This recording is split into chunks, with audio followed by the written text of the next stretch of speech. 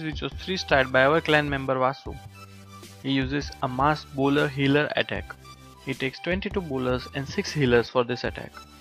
This is a typical Town Hall 10 ring base where the Town Hall and the Inferno Towers are located in the center and all the other defenses are surrounding them. To destroy such kind of bases, you need to build up a very nice funnel. Vasu starts his attack by dropping 4 Earthquake Spells here, which will destroy these two layers of wall.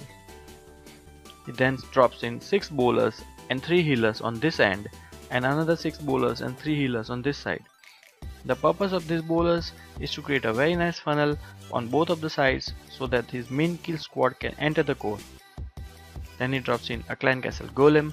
He brings 6 wall breakers which helps him to destroy these two layers of walls. Then he drops his bowlers, heroes and wall breakers in a nice circular fashion.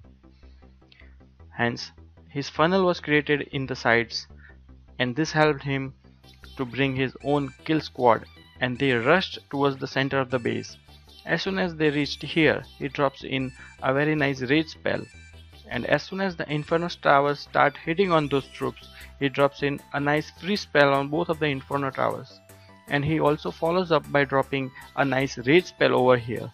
This helps him to destroy the core.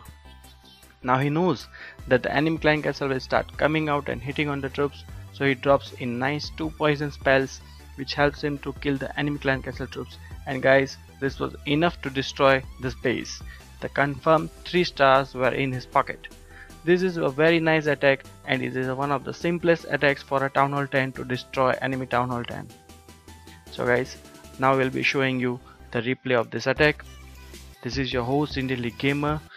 I thank you for so much support, the love that you are given to this channel I really appreciate that. Keep following, keep liking the videos, commenting on the videos and subscribe if you're not already subscribed.